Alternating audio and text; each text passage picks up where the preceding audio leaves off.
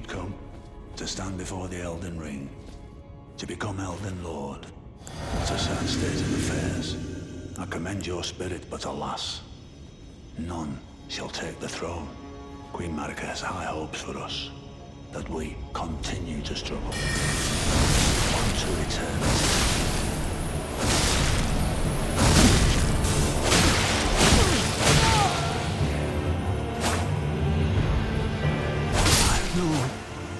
In my bones.